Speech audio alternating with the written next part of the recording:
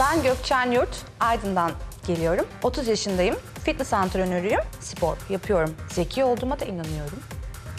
Daha ne olsun? Ailemden çok uzun süre ayrı kalmadım. Eve girdiğimde onlardan uzun süre ayrı kalacağım. Onları çok özleyeceğim. Beni izlerlerken güçlü kızım yine bir işin altından başarıyla kalktı desinler. Ailem için bunu kazanmalıyım ve kazanacağıma inanıyorum. Ben bu eve girdiğimde insanlar bana önyargılı yaklaşacaklar. Aptal sarışın filan. Ama ben öyle değilim.